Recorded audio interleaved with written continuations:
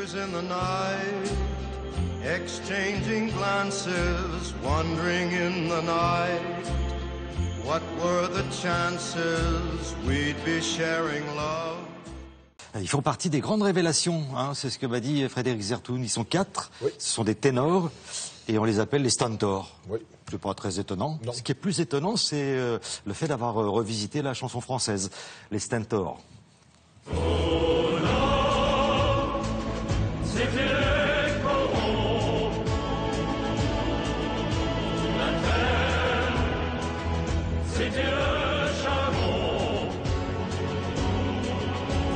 C'est quand même euh, assez, étonnant. c'est assez étonnant. Hein. Les pourquoi ce nom?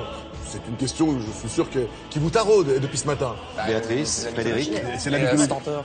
Et la mythologie. Dans la mythologie grecque, au moment de la guerre de Troie, on avait, on, on a- on avait nommé certains, certains officiers qui avaient des voix qui portaient plus que les autres pour justement porter les ordres, pour, pour crier les ordres sur le champ de bataille. Et donc, au moment où ils ont dû chercher un nom, ils sont passés par des noms euh, dont je, je vais, je vais vous les épargner.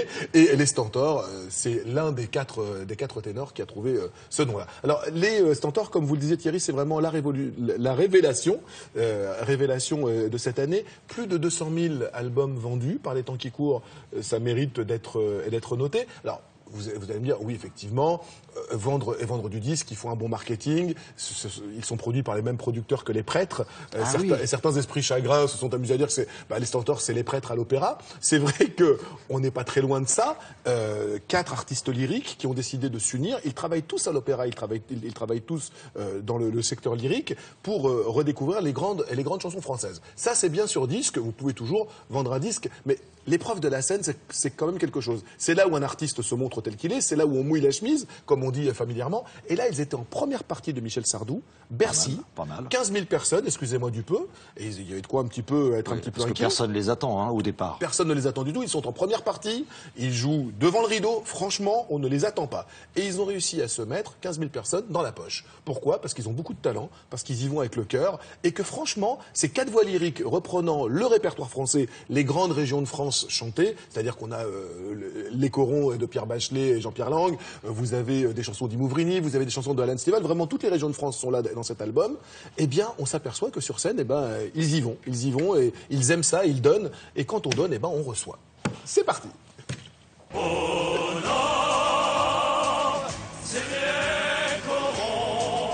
Vianney, baryton basse. Sébastien, baryton. Mougli, ténor. Mathieu, ténor.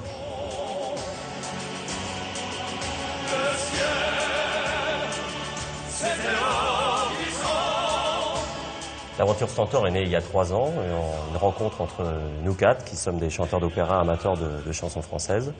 Et on, a décidé de, de faire un groupe, de fonder un groupe, euh, pour reprendre des standards, des grands standards de la chanson française, avec une mode un peu, un peu lyrique.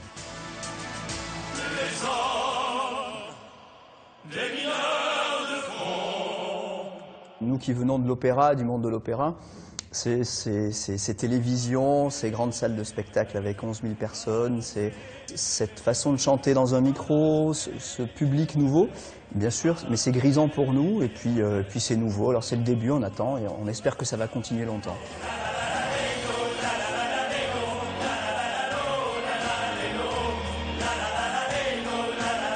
Le côté euh, boys band d'opéra, c'est quelque chose que vous assumez facilement? En tout cas, bande de potes, ça c'est sûr. Euh, on est des garçons, alors on est des boys. euh, bah oui, on a un boys band alors. Non, mais en fait, ce qui se passe, c'est qu'à l'opéra, on chante toujours ensemble. Il y a des solistes, mais il y a des plateaux de solistes. C'est jamais un soliste avec que des choristes. Donc, en fait, là, on est quatre solistes qui nous répartissons les rôles, les voix. C'est un petit peu pareil qu'à l'opéra. Il y a pas. Après, on nous a mis une étiquette parce que on est arrivé après les prêtres ou d'autres. Ça nous dérange pas, ça nous amuse en fait.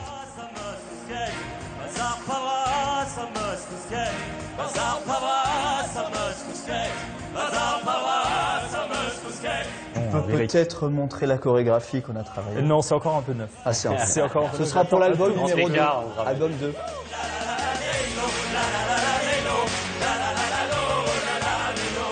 On peut pas nier, il y a un côté marketing, mais dans ce côté marketing, on a vraiment essayé de mettre vraiment notre expérience lyrique, de scène, musical, vraiment dans l'album. On a essayé de faire quelque chose vraiment de musical. On s'est dit, quelle tonalité on peut donner à cet album Et puis on s'est dit que pourquoi pas euh, reprendre des chansons euh, qui représentent des régions.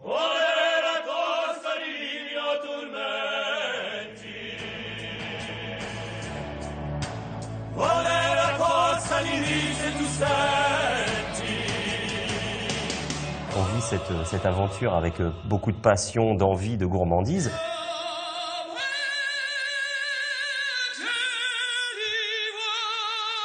On continue tous à chanter de l'opéra. On a toujours un pied, voire les deux, de temps en temps à l'opéra. Donc on n'a pas de projet en se disant, voilà, c'est un projet de carrière de, faire ce groupe.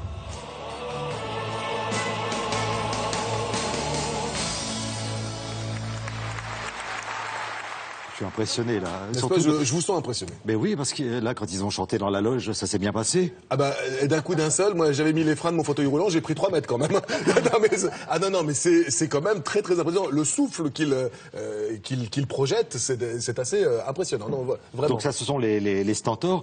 Euh, J'allais dire l'inverse, c'est plus difficile. C'est-à-dire que eux, ils sont capables de reprendre des chansons de, de variété. Et ils le font avec pas- talent, en plus. Il n'y a pas beaucoup de monde euh, dans la variété, à part Florent Pagny, qui peut s'attaquer à la Traviata ou, ou Étienne Dao peut-être. non, non, on a- non, c'est pour rire. Oh, c'était- non, non, mais c'est vrai qu'ils le, font- ils le font très bien. Euh, ça permet aussi de, de, bah, de- de faire découvrir à des gens qui n'iraient jamais à l'opéra et qui, qui n'ont pas du tout de rapport avec le, qui n'ont pas de lien avec le chant lyrique. bah, ça leur permet de d'écouter de jolies voix. Euh, les euh, Stentors, le 6 janvier. J'insiste sur cette date. Le 6 janvier, donc c'est samedi, je crois, qui, euh, qui arrive. Ils jouent avec Mathieu Gonnet. Mathieu Gonnet, un, un grand pianiste piano-voix. Ils vont reprendre toutes leurs chansons sans orchestre, piano-voix. Et je vous assure, on les a entendus un tout petit peu là, a cappella chanter. Leurs voix sont extrêmement pures et ça donne vraiment, vraiment, vraiment le frisson. Allez les voir. C'est vrai qu'ils chantent mieux qu'ils ne dansent au niveau de la chorégraphie. Alors ça a un petit côté, voilà. hein, il faut travailler un peu Voilà. la chorégraphie. Euh, Voilà, Hein, les garçons, au niveau, voilà. Ça, ça avait un petit côté boys band, ça avait un petit, un petit, un petit côté alliage, je trouve, euh, alliage QV 95, enfin, en fin de carrière quand même. quoi. Il est déchaîné aujourd'hui. On est, on est- nous sommes le 2, le, le 2 janvier. Ça ne fait que commencer, Thierry. Ils sortent également les Stentors en concert à Lille le 23, le 23 mars. et un nouvel album, un nouvel album au printemps. Vraiment, allez les voir, ils sont généreux, ce sont des artistes qui donnent, ils se moquent pas de leur public et c'est pour ça que ça marche.